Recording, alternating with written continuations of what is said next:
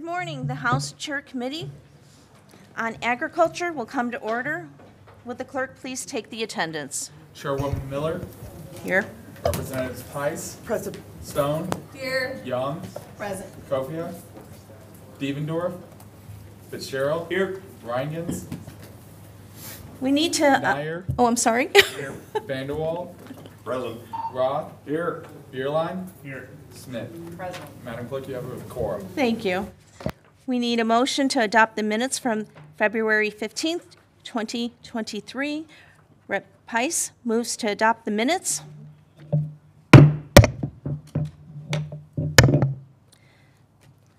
We will now move into presentations from Michigan Farm Bureau. Please come up and introduce yourselves. And members, if you can hold your questions to the end of the meet, meeting, that would be very helpful. Good morning, Ms. Chair, members of the committee. Appreciate your time this morning to just talk a little bit about Michigan Farm Bureau, our mission, and how we interact with the agriculture industry. Um, with me today, I am Rebecca Park, and at the microphone is Ben Terrell. In the cheap seats are Rob Anderson and Andrew Vermeesch rounding out the state government relations team, and we also have John Adamy, part of our communications team at Farm Bureau. So I thought I'd just give a little bit of history about Farm Bureau and how we got started, and like I said, our role with the agriculture industry here in Michigan. So we were founded in 1919. We are the state's largest general farm organization, and we represent more than 41 farm families across the state of Michigan. We got our original grounding um, from farmers that felt like they needed representation in Lansing everything's cyclical, right? At the time, we were talking about road funding. We seem to still be talking about road funding. But they felt like they needed an advocacy voice in Lansing. So, as I said, we're grassroots, member driven. We have a policy direction that's developed annually, which I'll talk about in a moment. We rely on our county farm bureaus and their expertise at the local level. We have young farmer programs where we teach leadership, uh, promotion and education and, outreach, and I'll talk more about that. And then, obviously, political action and policy work. So our policy development process really is grassroots based. Our county farm bureaus, our farmer members come together and say, this is an issue that we've got in agriculture, and I think that we need to have a particular position on it. So they talk about it at the local level, they vote on it at the county annual meeting there. If they agree at the county annual, then it goes to our state policy development committee. That's a 20 member committee that changes over every other year. So every year we're getting a half half of the committee changes over. We do that purposefully, understanding that agriculture is always changing, and we want to make sure that we're keeping up with the new issues that are going on in the agriculture industry. So that 20-member committee will work through every single, we call them resolutions, basically they're ideas or problems that's happening in the countryside. In my short time at Farm Bureau, I think the least number of issues that we've worked through was 600, and I think the most was about 1,200 in one year. At the end of that process, they come up with their recommendation and they take that to our voting delegates. Most of the time, that meeting is held right after Thanksgiving, and we've had it in Grand Rapids the last several years. At the end of that process, those voting delegates might agree with the Policy Development Committee. They might say, nope, try again. But at the end of the process, when the gavel falls, we get this policy development book. Each of your offices should have received this at least by last week, if not before. This is essentially our marching orders for our ways to interact with you guys downtown in the legislative arena. So part of our um, part of our programming includes promotion and education. And so through this particular subset of Farm Bureau, we have programs like Ag in the Classrooms, where volunteers can go into a classroom and actually teach a science-based lesson. We have in-service education for teachers available, safety programs, we do Project Red or Rural Education Day. These look differently. Sometimes we'll bus kids out to a farm and they'll go through sort of stations, if you will. Um, and other times we've actually taken farm animals to the school itself for Project Red Days. We do farm tours, we have activities at local fairs, and then um, adopt a classroom. The goal for the promotion and education is to really educate the public about agriculture through various projects. Children are certainly part of that focus, but also adults and others through the county fair. Um, Farm Science Lab. So this is something that's newer to the Farm Bureau realm. We currently have two labs on the road. It's a 40-foot mobile classroom that has the latest teaching technology um, to teach STEM-based lessons that are aligned with the next generation science standards. Um, as well as national ag literacy outcomes. The Farm Science Lab reinforces grade level standards with hands on science opportunities for our kids. COVID changed a whole lot of things, and we had to get creative when the mobile labs could not operate. And so we came up with this idea of farm crates. And so you can see up on the screen what each farm crate has. But if you wanted, someone could sponsor a farm crate for a teacher. Every month, they would get a crate that in- contains all of this grade level based activity that's hands on, focused on kindergarten through fifth grade just a couple of high-level Michigan agriculture facts, knowing that we're just getting started in the year. The food and ag industry contributes over 100 billion. I think Director Angerer used 104 billion annually to the state's economy. Michigan food and ag system employs about 22% of the workforce, and Michigan is the only state in the nation with a reliable water source to produce over 300 different types of commodities. You might hear some people say, or those of you that have been around might have heard, we're the second in the nation to California. I can't take responsibility for the change, but I think it's very accurate. We are the only state with a reliable source of water producing that number of commodities.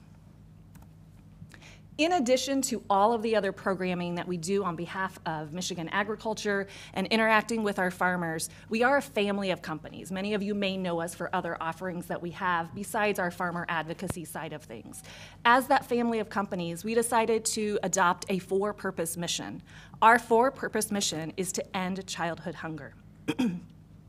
More than 350 County Farm Bureau employees, agents, their staff, they logged more than 1,000 volunteer hours to develop, to deliver rather, 1 million meals to families across the state of Michigan.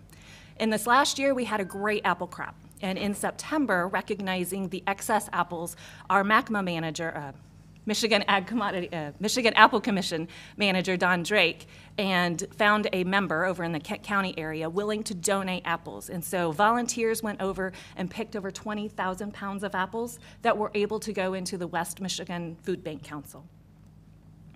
This is a photo of a couple of our agents that decided to try something new. And they named it, it's a pilot project at this point, the Agent Fresh Food Hub. Um, they partnered with a local school and they provided over 30 families that were in need with groceries, including things like apples and milk, eggs, potatoes, some frozen meat, um, and even some non perishable food items. Like I said, it's in the pilot project, but they're looking through this idea of could we expand this into other communities? Could we do it through an entire school year and really help to feed families that are in need? With that, I'm going to turn it over to Ben. Good morning, Madam Chair, members of the committee. It's now my pleasure to dive down further into several key current areas of focus and engagement for our organization. Perhaps the biggest challenge facing agriculture today in our state is related to workforce. We face an unprecedented shortage of the human talent our industry needs to move forward. We are very excited about the opportunities in Michigan agriculture, and we hope to collaborate with you all during the coming session to continue working to attract into our industry at nearly every level.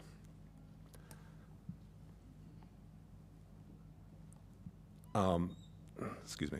Uh, Michigan Farm Bureau works uh, extensively to promote the agriculture industry potential participants, whether those be individuals wanting to be farmers themselves or those looking for a good paying career in various support industries.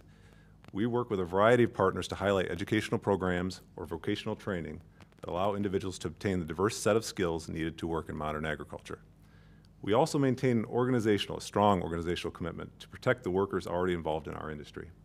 Michigan Farm Bureau has hosted, sponsored, or otherwise participated in countless trainings for the agricultural community, helping those involved identify the risks inherent on their farms or at their jobs through hazard assessment, understanding safety regulations and best practices, and through planning for emergencies like grain bin entrapments, fires, or farm machinery-related accidents.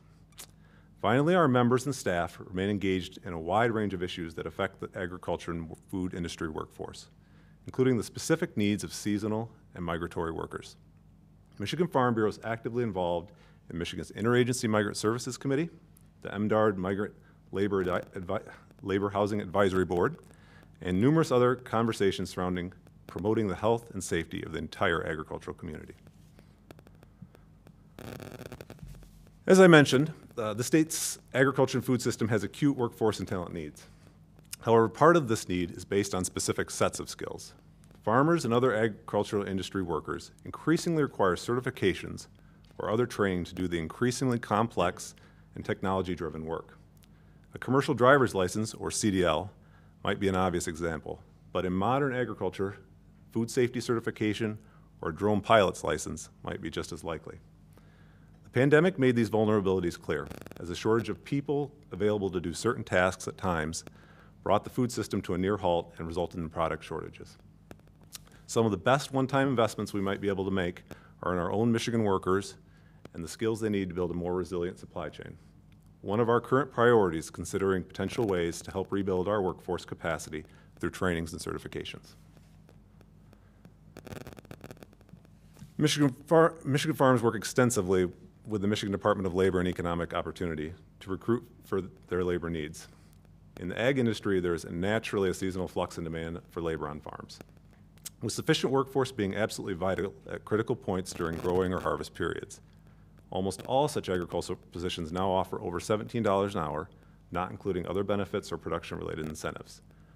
While such rates have enticed a small number of additional workers, a vast majority of such positions remain unfilled.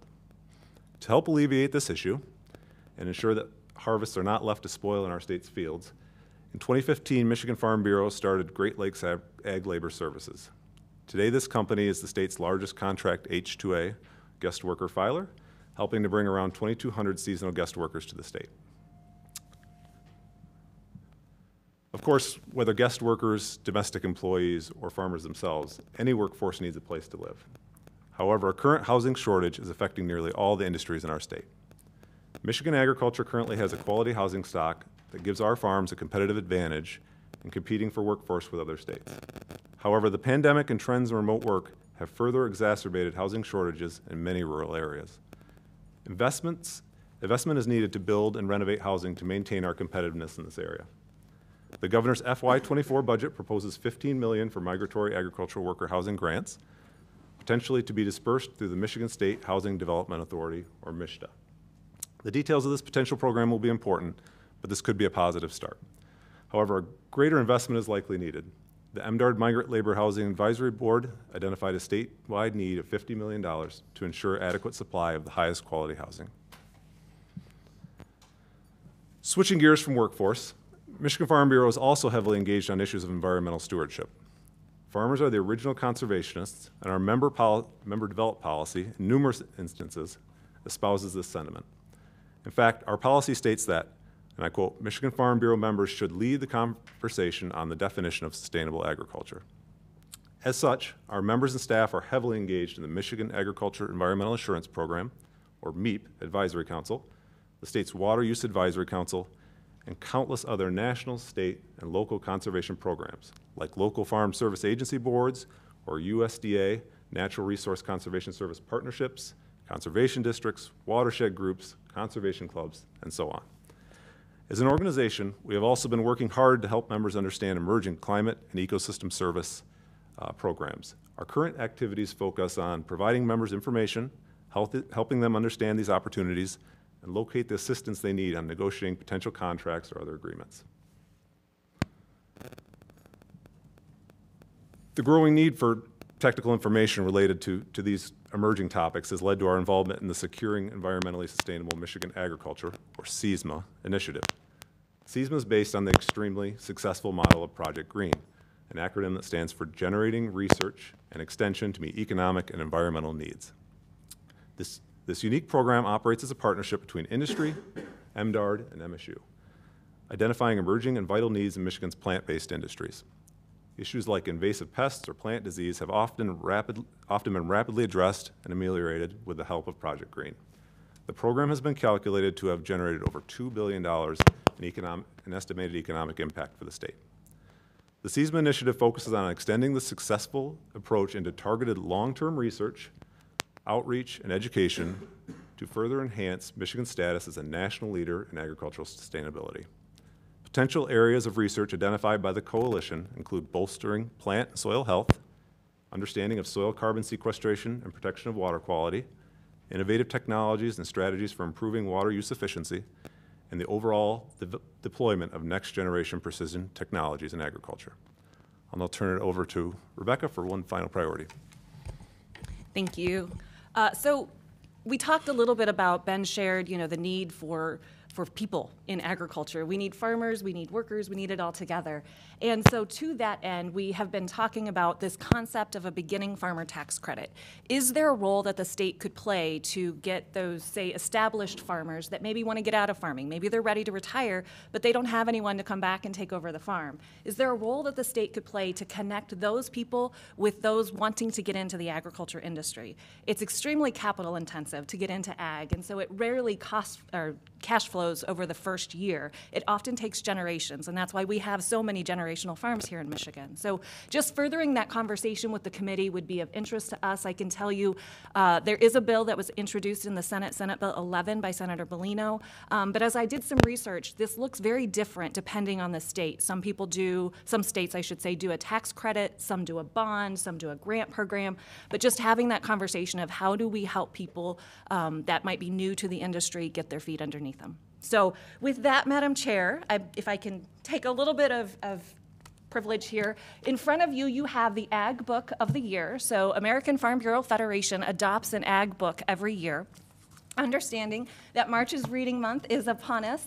Um, if you choose to read this book to any of your classrooms um, that you're going into and you're able to get a photo, make sure you abide by all the classroom rules, um, school rules there. But my card is in there. If you'd like to email it or text it to me, we would love to share the fact that our Ag Committee is out there helping to promote ag literacy in the classroom. At your deference, if I could get all the members that are comfortable to put the book up in front of them, if I could get John to take a photo of you guys, would that be okay? It's fine with me. After, the after the meeting, that would be great. After the meeting? Yes. Okay, thank you very much. All right. And that's all we have, Madam Chair. Yes, and getting to your point, when I learned that I was chair of agriculture, we immediately, and when I say we, I mean my chief of staff, Jackson Paul, and I started meeting with farming families who are members of Farm Bureau. And we had frank conversations, and we noticed, and it was very obvious that these farms are disappearing, the kids aren't going into it, and we need to do something. Absolutely. Some of these farms are 100 years old and been in, in the families for generations, and there's just not anyone to go on further with that. And that's a real concern, and we have to address it education-wise. We've got to give incentives to, you know, and, promote that farming is, can be vital, it can be a great career, and we need to do our part there. And during some of these conversations, as a matter of fact, when Jackson and I said, well, what are some of your concerns? What's your priority? We heard back that right to repair was one of the top priorities. So that being said, I have a question, because I just learned that the American Farm Bureau Federation and John Deere signed a, a memo, a, a uh, memo of understanding regarding the right to repair, and I wanted to know if you supported this, since it is such an important priority for your members. Absolutely. Yeah, that has been a topic that has been a conversation piece for a number of years now with our farmers and our implement dealers out there across the state. Um, so we were happy to see AFBF and John Deere join together in that MOU. I would be surprised if we don't see some other uh, implements coming on board, other brand names that you would recognize come on board with a similar understanding. Yes, it's very important that they can handle these repairs on their own. All right, thank you. Moving on, Rep. Heiss, you had a question? Thank you.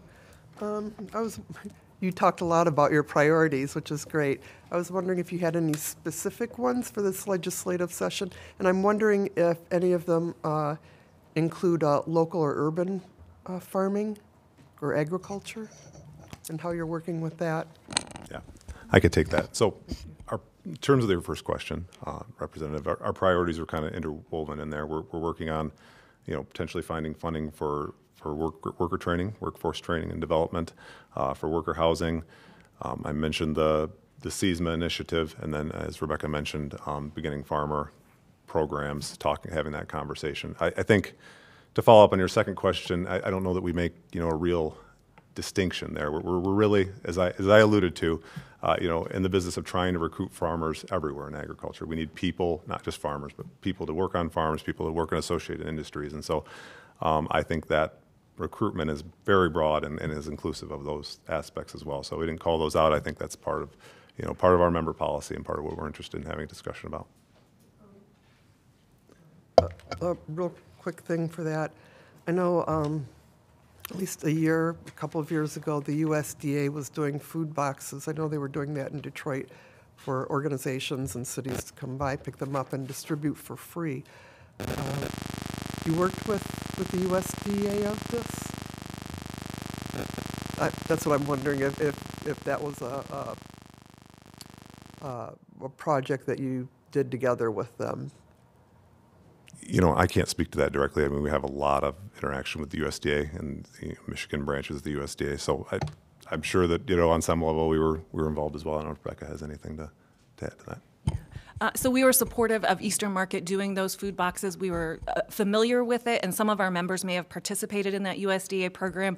As an organization, we didn't par- directly participate. No, Yeah, it wasn't with the, with the, like Eastern Market or any of those. I, as I recall, they were um, given out from the rooftop of the uh, Huntington place. Uh, We'd come by with a a U-Haul and uh, pick up a lot and take them to a food bank. But thank you for answering that. Thank you. State Rep. Nyer, please. I can briefly comment on that. That was a federal program through the Relief Act, um, and it was limited in scope. Uh, Several organizations, uh, a lot, most of them local, did take up on those opportunities, most of them associated with, with your school systems, trying to get through summer feeding programs there. Uh, United Dairy Industries was heavily involved in that, was uh, uh, one of the coordinators to provide uh, milk, which is a perishable product, it had to be handled specially, but it was, it was more directed towards the uh, summer feeding programs, is where they saw most of those uh, programs get set up around, because the school systems already had the natural uh, systems in place and logistics in order to get that food out to the, to the students and to the people that needed it. Thank you. State Rep. Fitzgerald. Thank you, Madam Chair. Um, Thank you for your presentation today. And uh, within that presentation, I heard a lot about migrant workforces and uh, how we are supporting those who are here uh, on H-2A programs or or otherwise. Um, Over the weekend, we had a uh, article in the New York Times that outlined um, some exploitative practices for especially child migrant labor what my question uh, to you all today is is do you have a published stance um, on the use of underage workers in the agriculture industry um, and how are you working to support those persons how are we ensuring that those people are treated fairly um, and that children are not being exploited um, for the gain of, uh, of agricultural uh, administrators. You know, the, the industries uh, outlined in that article were not necessarily farming, but agricultural adjacent, and so would love to hear your position on that today. Yeah, thank you for your question, Representative. And that's a really important and timely question. So I, I think just to start, um, you know, I, our policy is explicit about, you know, encouraging and informing producers and that, you know, our, having members follow existing laws as, as they pertain to labor. So obviously wage laws, I know there's some wage issues there, and obviously youth labor laws there. So, um, you know, our, our policy is very clear on that, um, and, and would obviously oppose something as, you know, as tragic as what happened in that situation. Um, you know, and I I guess just to relate, I mean, I haven't been on every farm in Michigan. There are 50 some odd thousand farms in Michigan, but um, you know, all of my experience and what I can testify to today is that uh, vast majority of all the farms that I've come into contact with, their workers are, are a very valuable part of their team. They're like family. And in many instances, they spend more time with the workers that they work on their farm. They work alongside these people and care very deeply for them. So, um, you know, it, it's, it's a tragedy and, and something that, you know, I think obviously we hope doesn't exist anywhere outside of the examples that were, were alluded to. If I may, Madam Chair, um, my only hope would be that we continue to see Michigan Farm Bureau continue to advocate on behalf of those uh, of those good practices that you uh, clearly stand by, and to ensure that you know you as are as as well advocates in the sense that we can ensure that children are not being exploited uh, uh, in, within the agriculture industry here in, in the state of Michigan, which was clearly dependent upon migrant labor. So, thank you very much. Absolutely. Thank you. State Rep Vanderwall. Thank you, Madam Chair. Appreciate it. And thank both you for being here today. Um, in your presentation, we talked about uh, a lot of things, and I guess real quick, how many acres of farmland do we have in operation in the state of Michigan? Do you happen to know that? Roughly 10 million. 10 million acres. The other question I have that pertains to that is how do we believe with the expansion of solar in, in some of the areas that we're looking at and competing with the farm community? What is, uh, what do you feel those are the drawbacks, or what are the drawbacks with that, and what, what do we expect it could do to our food supply here in the state of Michigan? Sure. Thank you for the question, Representative. Um, Just to try and answer your question, and I think that's very deep and complicated question. There's probably others, you know, even on our team that are better suited to answer that question. But um, just as very high level, um, you know, our policy supports primarily local control, local decision-making in, in those decisions. I don't think it's entirely clear how many acres of solar would be needed, right? There's a big conversation about where that's put and, and how, how those projects are sited. So, um, you know, it's, it's a issue our members are talking a lot about. Um, it's, it's an opportunity in some instances for farms to find additional revenue source that they can stay in business. But obviously, there's this um, issue of preserving farmland, and so um, it's a back and forth. I'm not sure I can give you a, a good indication on the overall impact because I'm not sure that we know, you know, especially given developments in solar, how many acres of solar will ultimately be sited. Representative Stone, you have the floor. Thank you, Madam Chair, and I appreciate the presentation. Um, and after listening to the conversations, I think I have three questions that I ended up with. Um, I'll take it one at a time. Is Michigan attracting enough migrant workers to fulfill our workforce needs? No. How, how short are we? That- That's a great question. Um, You know, I could just tell you that we're vastly short. I can't give you a specific number, um, but we are, we're very short. And, and I don't know that that, you know, terms of your question, not all of those workers obviously have to or are migratory workers, but we are vastly short on, on human talent in, in- in our industry. Um, second part is education. I was thrilled with the resources that you have targeted at education. And even though I represent largely an urban um, district, I'd be curious to see how we can bring some of these resources into our community. So I'd like to discuss that more. Um,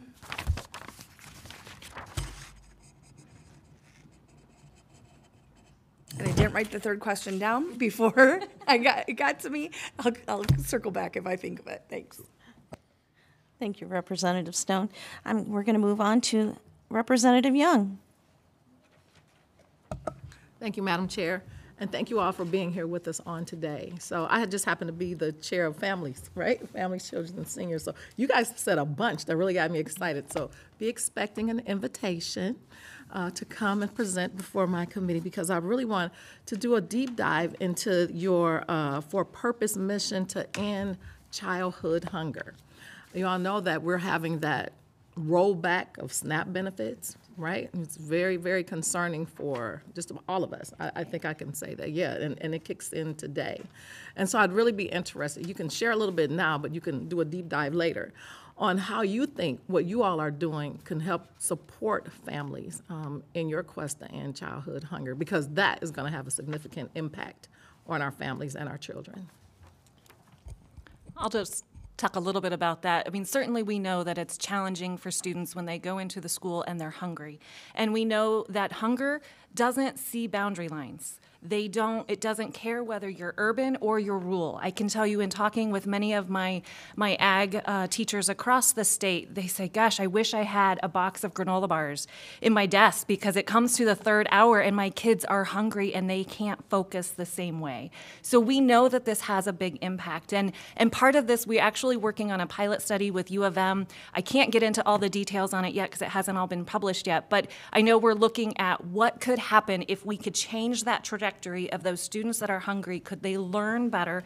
Could they learn more? Could they, you know, what would then that look like for the rest of the path of their life if we could just fix that one piece? So, love to have more conversations with you. Thank you, Thank you Madam Chair. Going back to State Rep Stone. I thought of it. I thought you did. Broadband coverage. So in Macomb County, uh, you know, being tri-county area, I was surprised to hear from farmers at the north end of the county that there are um, gaps in broadband coverage, and I know that's true for outstate Michigan as well. Can you speak to some of the inadequacy around broadband utilities? Yeah, thank you, Representative. That's a great question. So, huge issue. Um, and I mentioned precision agriculture a little bit in my our presentation, and we could spend two hours on that topic alone. But all the technology coming in, I mean, farmers have, um, you know, a lot of a lot of opportunity to use sensors and and um, precision equipment, things like that. But all that takes broadband connection, and so that's an increasing issue. And, and as you've alluded to, I mean, it's a widespread issue in our state, especially in rural areas. And so, um, our policy supports greater broadband access for, for rural areas and for farms.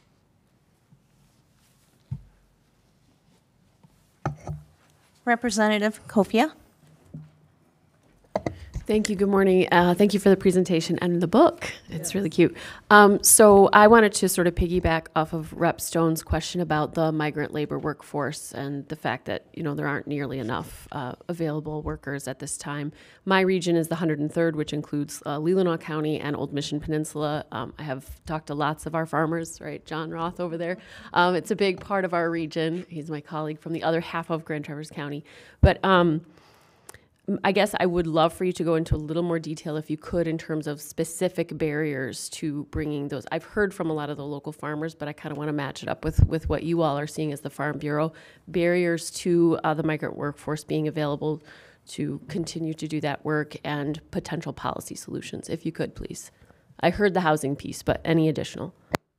Well, thank you for the question. I, I think a big part of our, our issue here is that, you know, we first of all need to understand that workforce. And, and we, as part of our collaboration with the Interagency Migrant Services Committee, have been pushing for a while for an enumeration uh, of the folks that, that comprise that population. And that's a big problem. I mean, I think there's, for many obvious national reasons and for pandemic-related reasons, um, there's been shifts in those populations, and, and I don't think we fully understand those. So, you know, I'm, I'm not try to be evasive. I'm just not sure I can answer your question, and I'm not sure that a lot of folks could. Honestly, we, we need to better understand um, a lot of those reasons. I mean, there are there are a number of, of potential things that we you know we could throw out there, but I don't think we really know until we until we get out there and we survey those folks and we understand you know what their needs are and where where we're lacking. To be very honest with you, but uh, some of those some of those national politics and some um, you know factors related to COVID all all play a role, but it's hard to know without uh, having that information. Thank you. It's very obvious that you can see the hard work that you've done for your members. It's phenomenal, and I thank you for that. But I can also see from the questions that we've heard today that there's room to grow, there's room to improve, just like anything else. So I look forward to working with all of you to find solutions to some of these issues, frustrations, concerns for the betterment. And I know we can do that because we have such a great committee and we have such great resources and we have you. So again, thank you. I appreciate that. Are there any further questions? Great.